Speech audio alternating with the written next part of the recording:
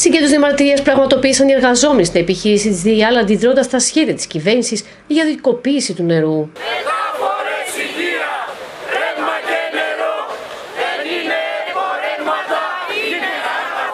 Αγαθό. Οι δύο τόνισαν το νομοσχέδιο με το ονομασία της Ρυθμιστικής Αρχής Ενέργεια, της Ρυθμιστική Αρχή Αποβλήτων Ενέργειας και Υδάτων και Διεύρυνση των αντικειμένων της με αρμοδιότητες επί των υπηρεσιών ύδατος και της διαχείρισης αστυνικών αποβλήτων, ενίσχυσης ιδιωτικής πολιτικής, οδηγούν στην ιδιωτικοποίηση. Ο λόγος της διαμαρτυρίας είναι ότι πάνε να αλλάξουν τη μορφή της δημοτικής επιχείρησης ίδρυση και αποκέντρωση Λάρισας.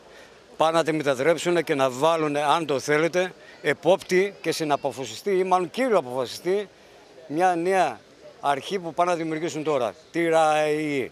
Ήταν η προηγούμενη λιγόμενη ΡΑΕ. Είδαμε τι έκανε τα δύο τελευταία χρόνια, κατά πόσο προστάτευσε τον καταναλωτή, που αυτός είναι ο σκοπός μιας ρυθμιστικής αρχής, να προστατεύει τον καταναλωτή από τον ανταγωνισμό.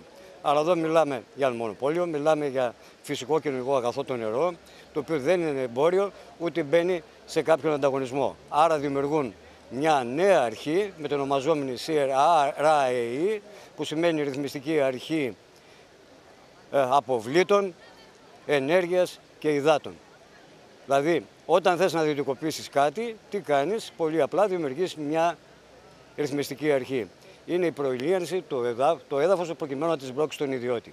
Τι κάνει με αυτό, καταργεί το Δημοτικό Συμβούλιο, καταργεί το Διοικητικό Συμβούλιο της ΔΕΙΑΛ και πρέπει να ξέρετε όλοι ότι εμείς ανήκουμε και στη Γενική Γραμματεία των Ιδάτων, την οποία την καταργεί εντελώς.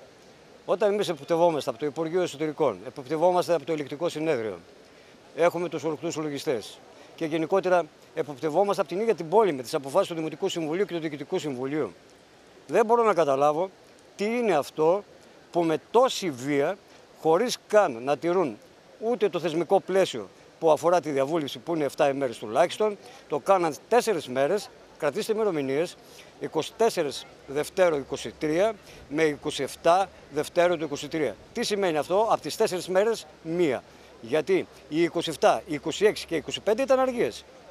Δηλαδή καταλαβαίνουμε ότι κάτι κρύβουν, γιατί δεν βγαίνουν το πούνε στους, στους καταναλωτές. Οι εργαζόμενοι, όπως τόνισαν, θα συνεχίσουν τις κινητοποιήσεις προκειμένου να αποτρέψουν τη ιδιωτικοποίηση του νερού.